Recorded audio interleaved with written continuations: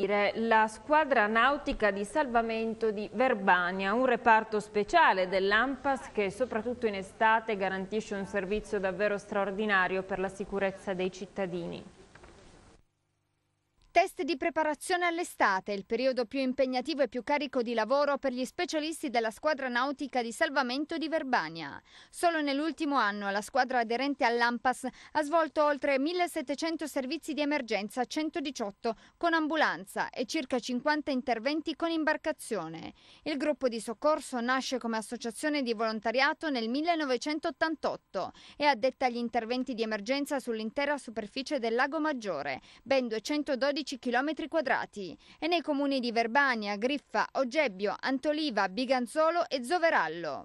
Chiaramente con l'apertura delle isole Borromee, periodo da, diciamo da eh, la settimana prima di Pasqua fino alle, a fine di ottobre, eh, gli interventi di emergenza, soprattutto alle isole Borromee, si incrementano. Chiaramente con l'afflusso di turisti, soprattutto dalle, dalle, nazioni vicine, quali Francia, Austria, Germania e soprattutto la Svizzera che è confinante col territorio italiano.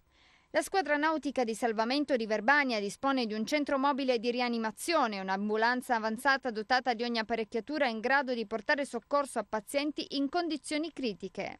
Le imbarcazioni di soccorso sono equipaggiate come delle vere e proprie ambulanze, chiaramente con spazi leggermente più ristretti, essendo delle imbarcazioni eh, dei mezzi che vanno sull'acqua. Un pochettino più scomode chiaramente rispetto alle ambulanze, ma a tutti gli effetti con equipaggiamento di un'ambulanza, quindi con ossigeno, con defibrillatori, eh, con aspiratori, con barelle, sedie, sedie barella e via dicendo.